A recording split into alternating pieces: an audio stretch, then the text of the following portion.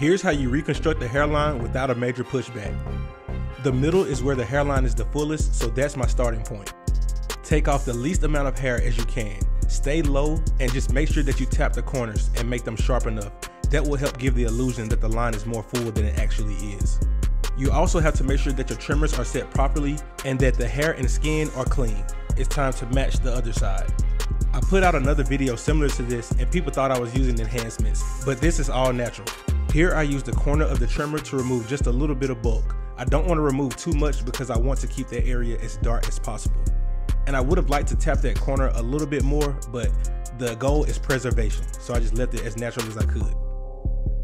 Hit the barber step back to review your work and make any necessary adjustments. Keep that arch as natural as you can get it, but also get it as sharp as you can. Use your offhand as well as your knuckles for a brace for stability. Like, share, and follow for more videos like this.